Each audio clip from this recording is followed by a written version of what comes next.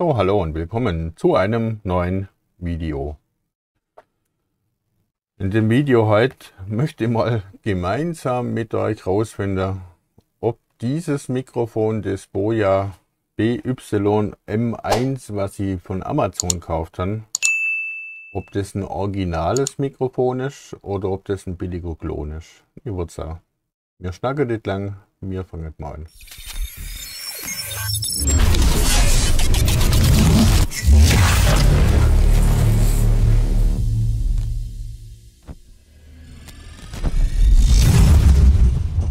So, jetzt kann man zuerst mal auf den Tisch. Gucken wir uns mal die Verpackung an. Die Verpackung sieht eigentlich meiner Meinung nach richtig, richtig authentisch aus.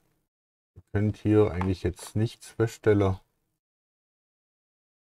dass jetzt ich sagen könnt, hm, kein Original.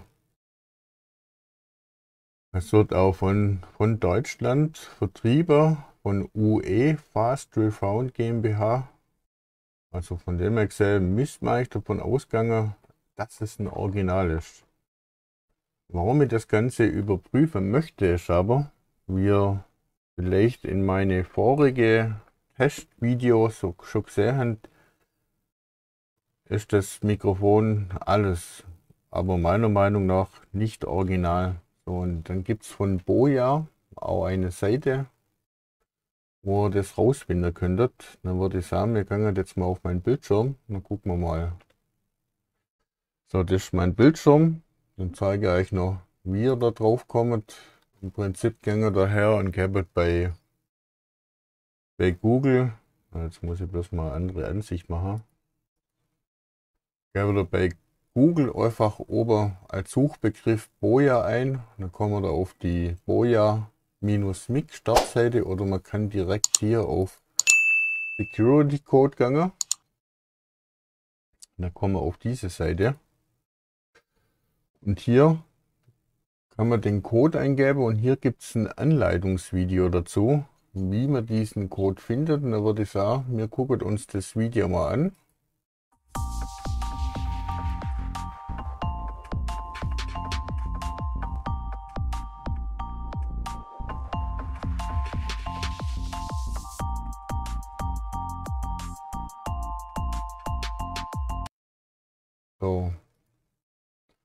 Man das abzieht, dann haben wir hier auf jeden Fall die Seriennummer. Dann gibt es einen Scan UR-Code und Golden Glitter Effekt. Visible Unterlight. Also, das können wir im Prinzip ja schon mal überprüfen, ob wir den Effekt hier haben. Unterlicht. Ich kann hier oben nochmal ein Licht dazu schalten. Dann tun wir mal näher ranzoomen. Also diesen Effekt, den haben wir auf jeden Fall hier drin. Also noch könnte man sagen, es ist ein Original. Ich würde sagen, wir gucken uns das Video weiter an.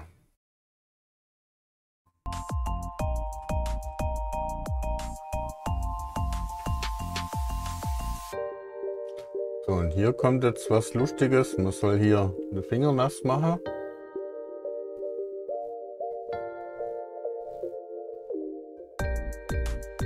Und dann soll diese Schrift verschwinden.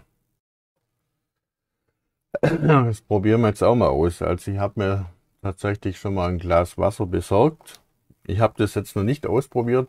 Ich mache das jetzt gemeinsam mit euch. Dann tun wir jetzt mal an die Schrift ranzoomen. Dann mache ich mir jetzt meinen Finger mit, mit Wasser hier einfach mal ein bisschen nass.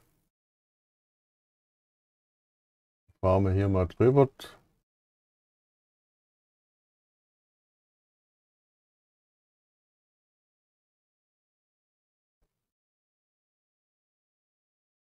Und auch laut dem hier, die Schrift verschwindet eigentlich nahezu. Könnte man echt meinen, dass es ein Original ist. So, das trocknet jetzt langsam wieder. Jetzt kommt die Schrift wieder zurück.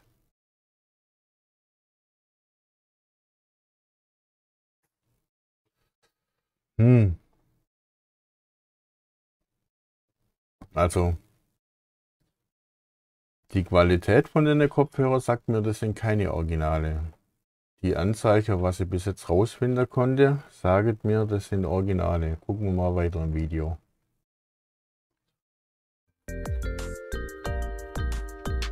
So, Drucker. Drucker habe ich auch gerade gemacht. Die Schrift ist dann wieder zurückgekommen.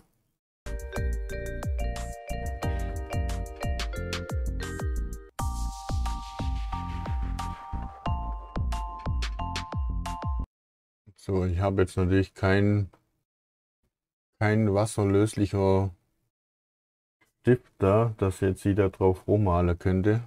Also den, den Test, den müssen wir jetzt tatsächlich auslassen. Wenn ich mit dem Edding 3000 drauf mal, dann bleibt es drauf.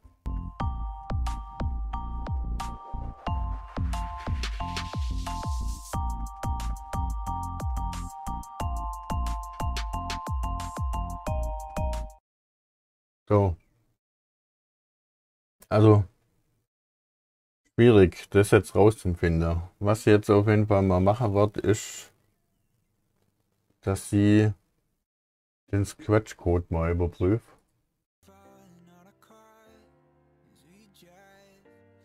Weil das müssten wir, das müssten wir eigentlich hinkriegen. So, dazu muss jetzt hier das Ganze irgendwie aufklappe.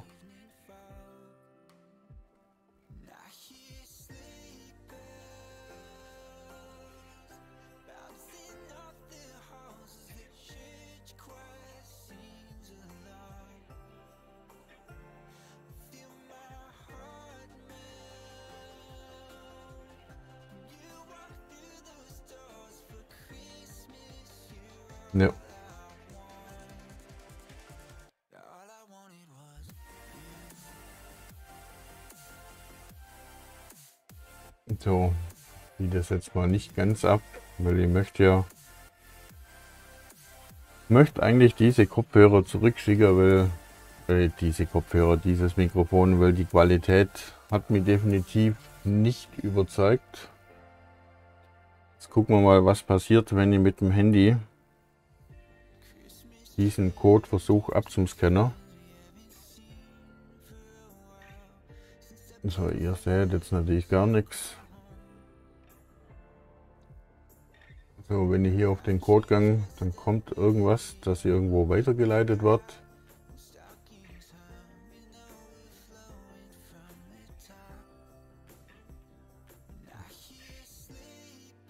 Oh ja, willkommen, bla bla, möchten Sie aktuellen Wort... Äh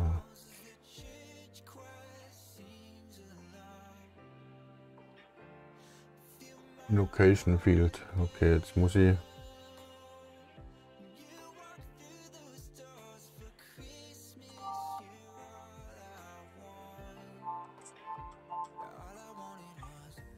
Okay, also laut dem hier soll das Originale sein, was mir jetzt eigentlich echt wundert.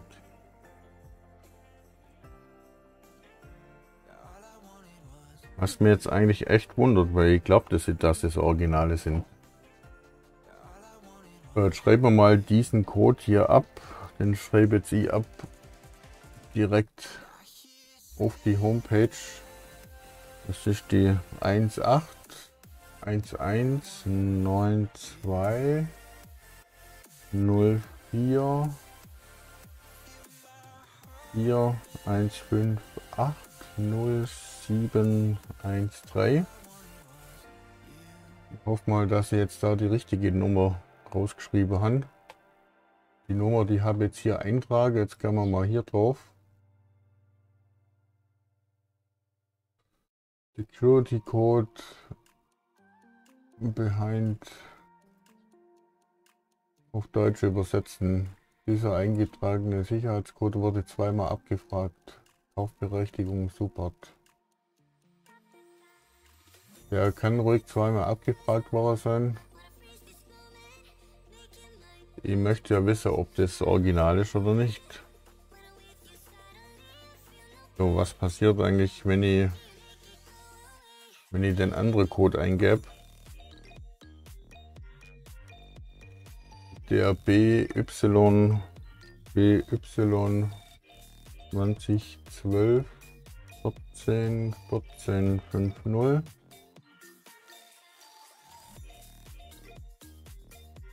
So, dann kommen wir nochmal auf den Bildschirm. Dieses Produkt, das Sie anfragen haben, ist ah, dieses Produkt, das Sie angefragt haben, ist gefälscht. Bitte kaufen Sie unsere autorisierte Händler Produktbild.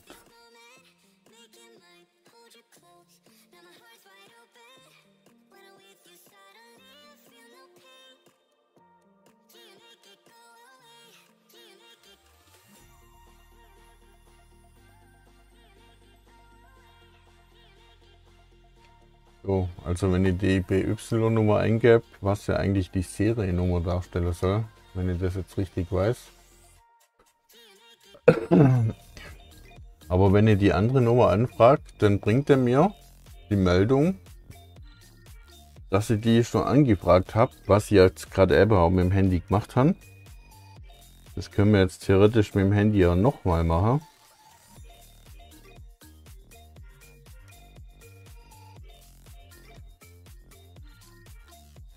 Gehen wir aus dem Zoom nochmal weiter raus, dass ihr das auch seht, was ich hier mache.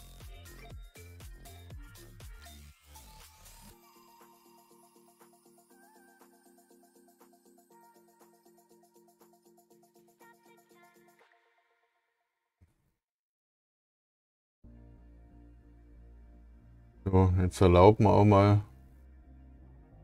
dass der weiß, wo ich bin. Jetzt müsst, ist das eigentlich die identische Nummer, was der mir hier anzeigt. 713 hinter raus, ja. Jetzt müssten wir auch hier die Meldung kriegen, dass mir das schon öfters angefragt haben.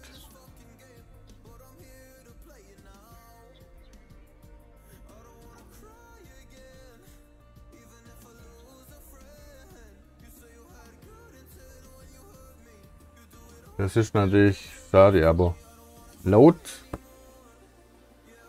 laut dieser Echtheitsprüfung sollten, sollte dieses Mikrofon original sein. Ich kann euch ja mal schnell einblenden, warum ich der Meinung bin, dass es nicht original ist. Das hier gerade mal runter auf den Tisch. Das hier ist ja das Boya-Mikrofon. So, ich schalte jetzt hier den Schalter jetzt auch dann um auf Kamera, weil jetzt hier das mit der Kamera verwendet. Das heißt, ich muss hoch. Batterien sind drin. So, eine Batterie ist drin, dass das Umschalter auch funktioniert. Was hier auch sehr verdächtig ist, da müsste mal so ein Bändel mit dabei sein dass man die Batterie wieder rausziehen kann. Der Bändel, der fällt bei mir. Ansonsten sieht das Gehäuse hier meiner Meinung nach richtig, richtig original aus. So, hier haben wir auch nochmal einen Code, was man theoretisch abscannen kann mit dem Handy. Das probieren wir jetzt gerade auch noch. Ich möchte jetzt gerade mal wissen, wo, wo man dann hier rauskommt.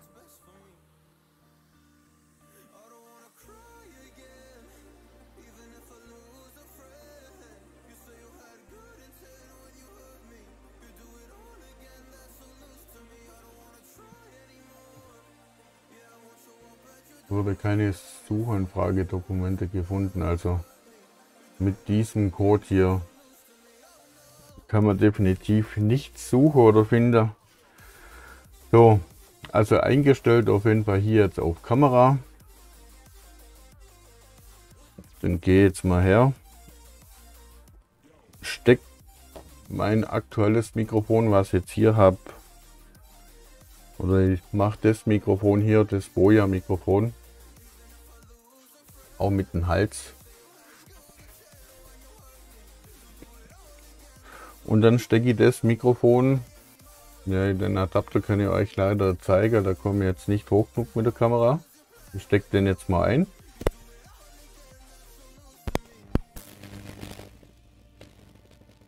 So, ich sehe jetzt am Ausschlagpegel, also ich habe jetzt das Boja-Mikrofon dran, ist hier im Ausschlagpegel, dass du nicht sagt. Der trotzdem immer noch irgendwas ausschlägt, also der Ton wird jetzt miserabel sein, man wird ihn wahrscheinlich auch kaum verstehen.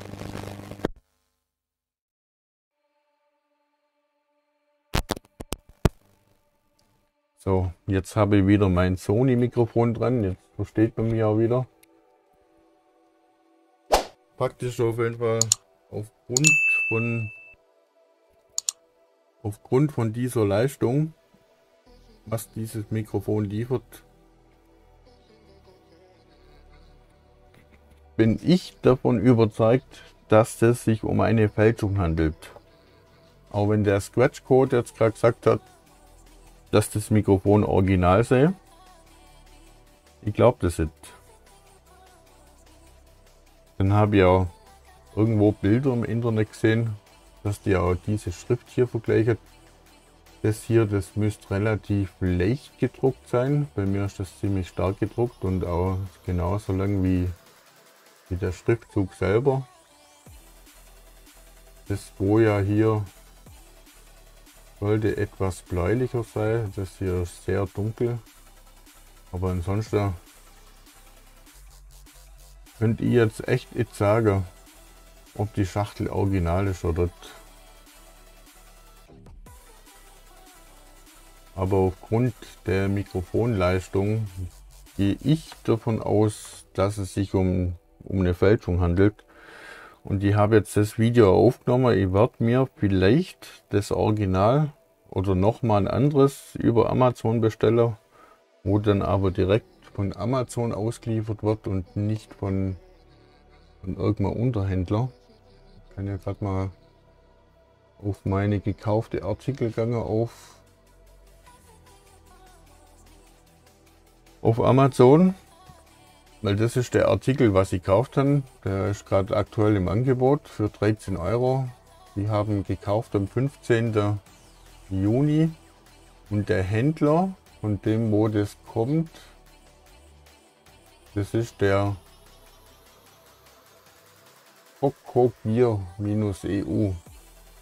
Und ich vermute mal, dass es sich hier tatsächlich um eine Fälschung handelt. Wenn man jetzt aber auf die, Be auf die Bewertungen runtergeht, es sind über 2300 Bewertungen und die sind die meiste mit 5 Sterne, also insgesamt 4,3 Sterne. Ich habe jetzt nichts Wunder, dass irgendjemand sagen könnte, das ist ein Klon. Keine Ahnung.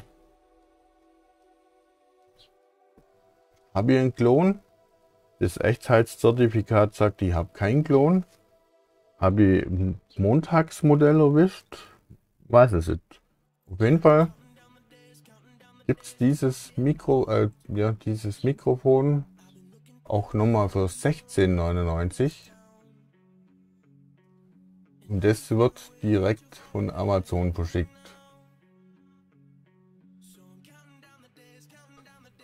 Und eventuell kaufe ich mir das jetzt dann noch und ich lasse es einfach gut sein. Ich weiß es nicht. Das sind halt 17 Euro. Plus Versand dann nachher noch mal dazu, wo ich jetzt nicht weiß, ob ich das investieren soll oder nicht. Dieses Mikrofon, was ich hier habe, also entweder eine Fälschung oder ein Montagsmodell. Ihr könnt es euch echt nicht sagen, aber wenn ihr da selber schon Erfahrungen gemacht habt, schreibt es in die Kommentare. Wir sehen uns im nächsten Video. Tschüss.